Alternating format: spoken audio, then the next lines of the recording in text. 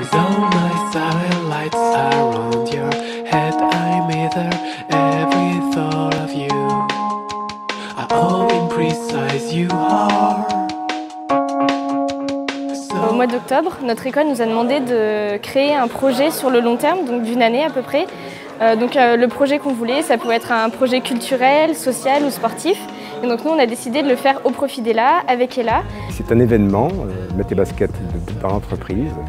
C'est un, projet inter-entreprise donc, qui regroupe euh, à la fois des, étudiants qui ont porté le projet, des étudiants de l'école supérieure de commerce, des étudiants aussi du département théâtre, euh, du conservatoire, et des, entreprises euh, qui, ont participé. Tous les participants arrivent sur leur lieu de travail, donc à la même heure qu'habituellement. Donc nous, on se déplace directement sur leur lieu de travail pour leur remettre leur podomètre.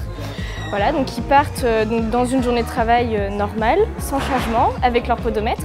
Et entre midi et deux, on leur propose quelque chose de nouveau qui puisse changer avec ce qu'ils ont l'habitude de faire, c'est-à-dire qu'on les regroupe tous euh, donc aujourd'hui au Palais des Sports pour qu'ils puissent faire un peu de zumba, un petit peu de hand et qu'on mange tous ensemble et qu'on passe un moment convivial. Depuis ce matin, eh écoutez, le podomètre qui est ici est normalement sur le côté euh, depuis que je suis arrivé et donc euh, totalise le nombre de pas que je fais.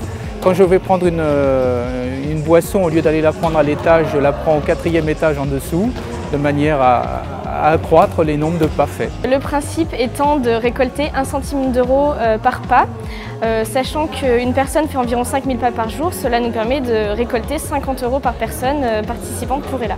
Ça donne du sens. C'est-à-dire ce qui est très important pour, euh, pour l'entreprise, pour les chefs d'entreprise, c'est bien sûr euh, sensibiliser les les salariés sur euh, les problématiques de l'association et les enjeux, hein, qui, est d'aller le plus vite possible vers la guérison de nos malades.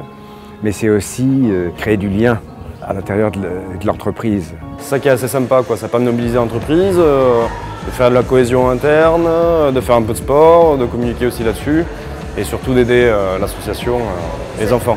Moi, c'était la première fois que je faisais de la Zumba. C'était très sympa, très actif, très dynamique. Et puis l'ambiance générale était très bonne, donc c'était chouette. On a fait exploser le compteur du podomètre. Là, il s'est arrêté parce que j'ai arrêté de marcher.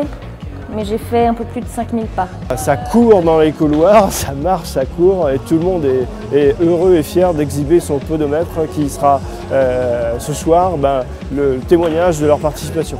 L'esprit d'entreprendre, c'est faire des choses aussi pour les autres. Ça se traduit par de la solidarité. Et ça aussi, c'est une valeur euh, euh, propre à GRDF et à nos salariés qui ont répondu euh, présent à l'appel aujourd'hui.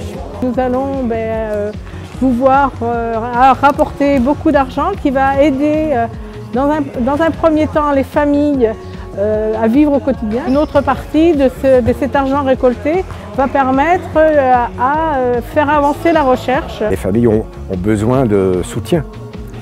Il faut aller plus- le plus vite possible vers la guérison, mais dans le même temps, il faut, faut de l'amour, il faut de, la- faut de la chaleur, il faut être entouré, il ne faut pas être exclu.